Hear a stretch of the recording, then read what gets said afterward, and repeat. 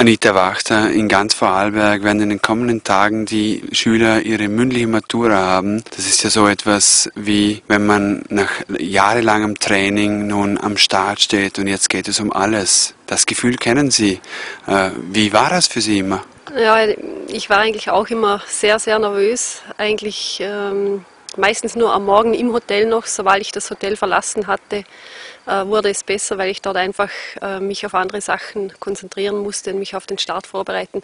Aber ich glaube, die Nervosität gehört einfach dazu um eine gute Leistung zu bringen. Was könnten Sie hier an Tipps oder Ratschlägen geben, wie man dieser Nervosität doch etwas beikommen kann? Naja, ich glaube, wenn man gut vorbereitet ist, dann braucht man gar nicht so nervös zu sein, dann läuft das sowieso. Und ich habe ja, wenn ich ganz nervös gewesen bin, eine Mandel äh, zwischen meine Zähne genommen und daran immer ein bisschen gelutscht und gerieben. Äh, das hat mir auch sehr geholfen und Bewegung war für mich einfach äh, das Ab, äh, also die beste Ablenkung von der Nervosität. Äh, nun muss man sich ja vorstellen, knapp vor dem Start, äh, was haben Sie da immer gemacht? Beziehungsweise, wenn man das umsetzt, knapp vor der Prüfung, sollen sich die Schüler jetzt eher bewegen, wenn es nach Ihnen ginge?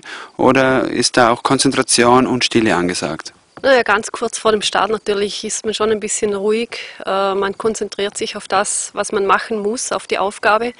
Und ja, ich beim Skifahren bin ich einfach noch einmal im, im Kopf den Lauf durchgegangen, äh, bin meine Stärken durchgegangen, habe gesagt, okay, das schaffe ich. Und ja, und dann ist es manchmal sehr gut gegangen. Nicht immer. Wie sind Sie eigentlich auf den Trick mit der Mandel gekommen? Ah, das hat mir meine Masseuse einmal verraten, dass es ähm, ganz gut sei. Ich habe das dann probiert und es hat mir dann auch wirklich geholfen. Wenn jetzt der Start gelaufen ist, wenn der Start passiert ist, die erste Frage gestellt ist, beziehungsweise Sie befinden sich auf der Strecke, hört dann die Nervosität auf? Geht man da in eine andere Welt hinein vielleicht? Ja, auf jeden Fall. Also wenn, man im, also wenn ich im Starthaus gestanden bin und die Uhr hat getickt, ähm, dann ist man in einer anderen Welt. Also man ist dann einfach so fokussiert auf, auf das, was man tun muss und man startet hinaus und, und die ganze Nervosität ist weg. Und ja, zu hoffen ist natürlich, dass man einen guten Start hat, die ersten paar Tore gut fährt und in diesem Falle die ersten paar Fragen gut laufen, dann ist äh, alles schon geritzt. Gibt es eigentlich in Ihrem derzeitigen Leben auch noch Situationen, wo Sie mit Nervosität zu kämpfen haben, wo Sie nervös werden? Die gibt es sicher noch.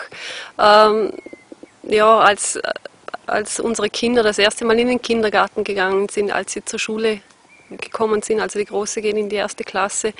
Und ja, am ersten Schultag ist man immer ein bisschen nervös oder wenn sie eine, eine kleine Prüfung hat, also sie geht jetzt erst in die erste Klasse, aber sie haben dort auch schon kleine Prüfungen.